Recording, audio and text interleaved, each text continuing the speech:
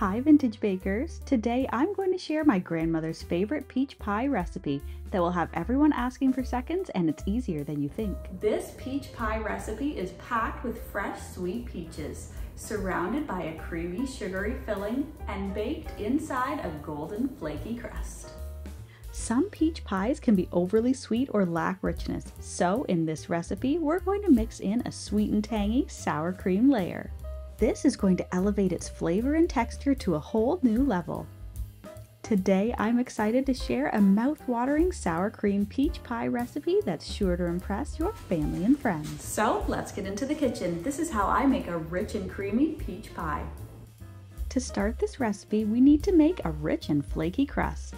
If you already have a store-bought crust, then go ahead and skip to the filling.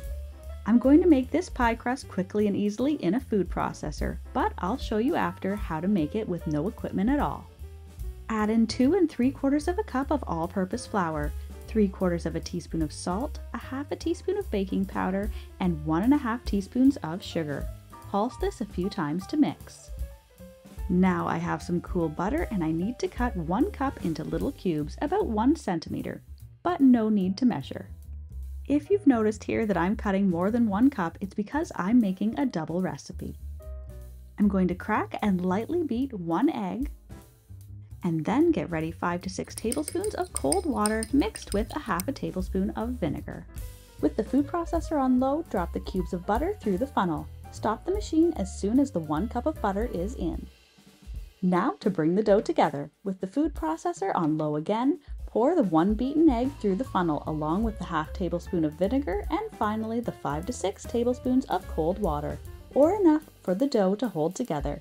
You may need all or part of the water. As soon as the dough forms a clump, stop the machine. And the dough is made, so quick and easy. Now form it into a disc, wrap in plastic wrap, and allow the dough to rest in the fridge for one hour. Now, if you want to make this without a machine, it's almost as easy, just a little more work on your part. In a large bowl, add the flour, salt, baking powder, and sugar. Give it a mix. Drop in the cubed butter and toss it in the flour just so it doesn't stick back together again. Using your fingertips, or you can use a pastry blender if you have one, Crumble and rub the flour and butter through your fingers until you have a crumbly oatmeal-like consistency.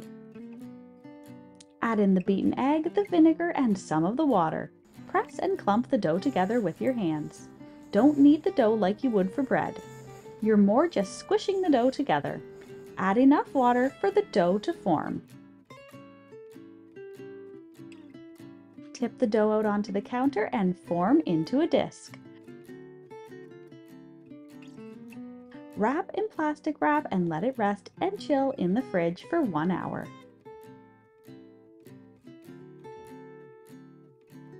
Now that my dough is ready, I'm going to roll it out and line my pie plate.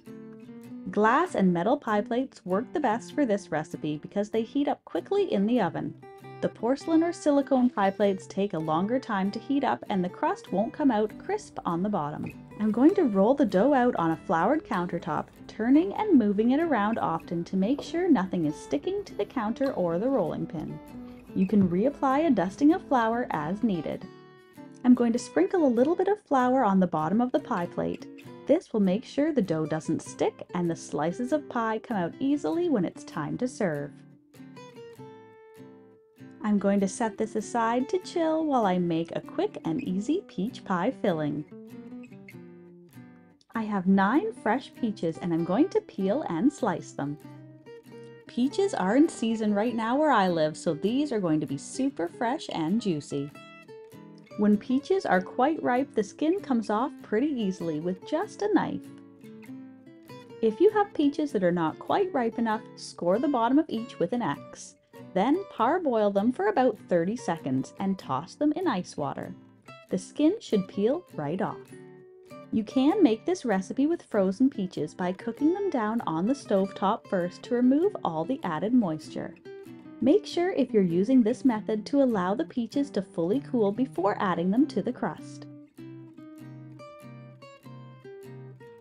For the creamy filling, I'm going to add one cup of full-fat sour cream, a half a cup of sugar, and one third of a cup of flour to a medium bowl. Blend this together with a whisk or a fork.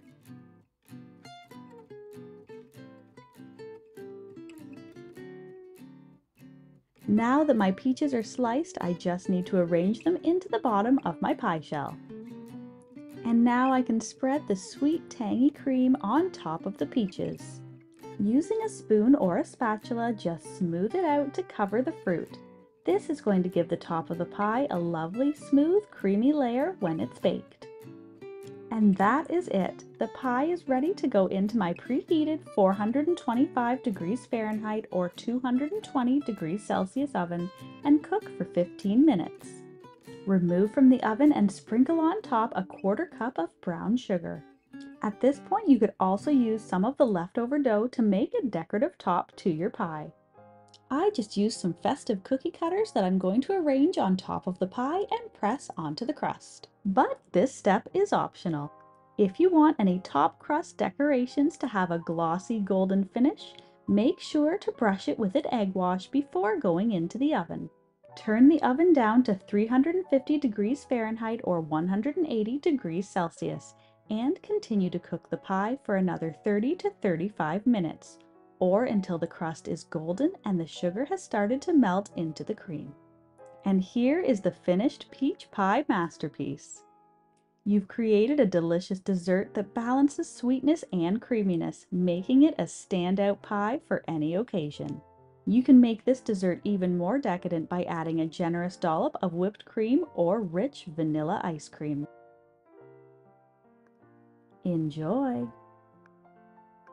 If you're a fan of deliciously simple vintage recipes and old-fashioned skills, then you'll want to check out this next video.